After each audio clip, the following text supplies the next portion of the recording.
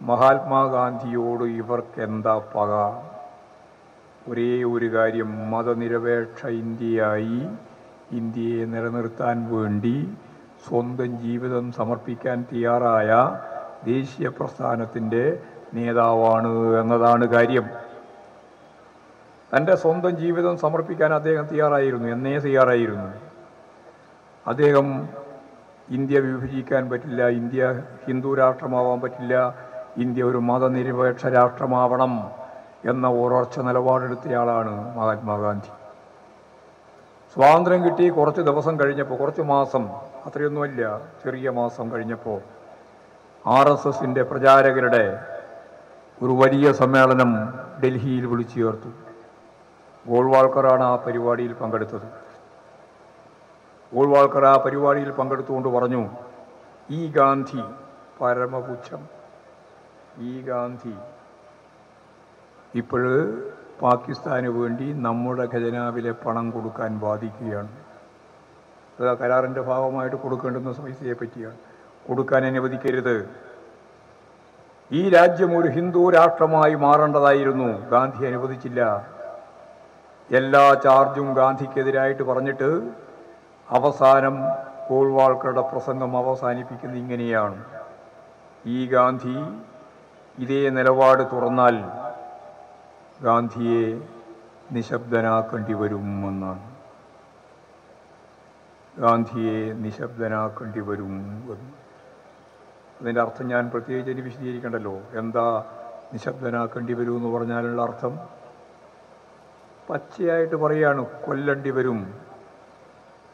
അതിന്റെ വർബാറ്റ ഇപ്പോൾ പൂർണമായിട്ട് നമ്മുടെ മ്യൂസിയത്തിലുണ്ട്. മുമ്പുണ്ടായിരുന്നില്ല. മുമ്പത് ഇംഗ്ലണ്ടിലാണ് ഉണ്ടായിരുന്നത് അതിപ്പോൾ കിട്ടി. പോൾവാൾക്കറുടെ പ്രസംഗം മുഴുവൻ. ആദ്യാവസാന പദാനുപദം. അതിലാണ് പറയുന്നത് ഈ ഗാന്ധി ഇതേ നില തുടർന്നാൽ നിശബ്ദനാക്കേണ്ടി വരും എന്ന്.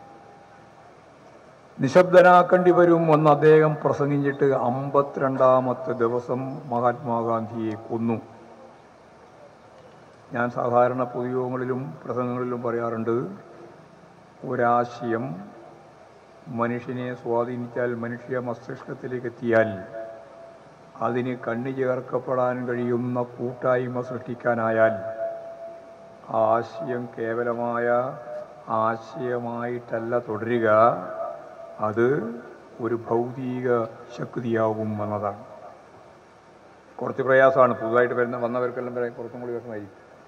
പക്ഷെ അതൊരു ദർശനമാണ്. എന്ന് പറഞ്ഞാൽ ലളിതമായിട്ട് ഇത്രയേ ഉള്ളൂ. ഒരു ആശയം നിങ്ങൾക്ക് കിട്ടിയാൽ അങ്ങനെയുള്ള ആശയമുള്ളവരെല്ലാം കൂട്ടായിട്ട് ചേർന്നാൽ അത് ദശലക്ഷക്കണക്കിന് ആളുകളായിട്ട് വളർന്നാൽ അവരെല്ലാം കൂടിയാൽ ഉണ്ടാവുന്നത് കേവലം ആശയല്ല ഒരു ഭൗതിക കരുത്തായി മാറും എന്നതാണ്. മഹാത്മാഗാന്ധിയെ കൊല്ലാൻ ഈ ആശയം ലക്ഷക്കണക്കിന് മനുഷ്യരിലേക്ക് എത്തിക്കുകയും മഹാത്മാഗാന്ധിയെ കൊല്ലേണ്ടതാണ്. എന്ന ആശയത്തിന്റെ ഭൗതികമായ പ്രയോഗമായി മഹാത്മാഗാന്ധിയെ ഗോഡ്സെ വെടിവെച്ച് കൊല്ലുകയും ചെയ്തു. ഗോഡ്സെ കൊന്നില്ലെങ്കിൽ ആരെങ്കിലും കൊല്ലുമായിരുന്നു. ഗോഡ്സെ കൊല്ലണം നിർബന്ധം പിടിക്കേണ്ടില്ല ആരെങ്കിലും കൊല്ലുമായിരുന്നു. കാരണം ഈ ആശയത്തിന് അത്ര സ്വാധീനം ഉണ്ടായിരുന്നു. അതിനുശേഷം എഴുതപ്പെട്ട നിരവധി പുസ്തകങ്ങൾ ഗാന്ധി കൊല്ലേണ്ടത് തന്നെയാണ്. വധിക്കപ്പെടേണ്ടതായിരുന്നു എന്നാണ്. കർണാടകത്തിലൊക്കെ ആ പുസ്തകം ധാരാളമുണ്ട്. അപ്പോൾ ദേശീയ സ്വാതന്ത്ര്യ പ്രസ്ഥാനവുമായിട്ട് യാതൊരു ബന്ധമില്ലാതെ ബ്രിട്ടീഷ് സാമ്രാജ്യത്വത്തിന്റെ ഒപ്പം ചേർന്ന് ദേശീയ പ്രസ്ഥാനത്തെ ഒറ്റുകൊടുക്കാൻ പുറപ്പെട്ട ഈ വർഗീയവാദികൾക്ക് ഭരണഘടനയുമായിട്ട് അതിന്റെ മൂല്യങ്ങളുമായി യാതൊരു ബന്ധമില്ല അവർക്ക് മതനിരപേക്ഷതയില്ല അവർക്ക് ജനാധിപത്യ സംവിധാനമില്ല അവർക്ക് പാർലമെന്ററി വ്യവസ്ഥയില്ല അവർക്ക് ഭരണകൂടത്തിന്റെ ഭാഗമായിട്ടുള്ള ഭരണഘടനാ സ്ഥാപനങ്ങളുടെ സ്വതന്ത്രമായ പ്രവർത്തനത്തെ പറ്റി അവർ അംഗീകരിക്കുന്നില്ല.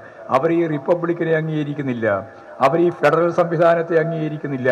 അവർ സ്വമത്വത്തെ അംഗീകരിക്കുന്നില്ല. കാരണം ഇതെല്ലാം ഭരണഘടന മുന്നോട്ടേക്ക് വെച്ച മൂല്യങ്ങളാണ്. ആ മൂല്യങ്ങൾ രൂപപ്പെടുത്തുന്നതിന് വേണ്ടി നടത്തിയ പോരാട്ടങ്ങളിലും സമരങ്ങളിലും ഒന്നും ഈ ബി ജെ പിയും അതുപോലെ തന്നെ വർഗ വർഗീയ ശക്തികളും ഒന്നും തന്നെ ഒരു പങ്കും വഹിച്ചവരല്ല. അവർക്കിതിനെ ചവിട്ടി മതിക്കുന്നതിന് യാതൊരു പ്രയാസവും ഉണ്ടാവാൻ ഇടയില്ല. അതല്ല ഇന്ത്യയുടെ ജനതയുടെ സ്ഥിതി.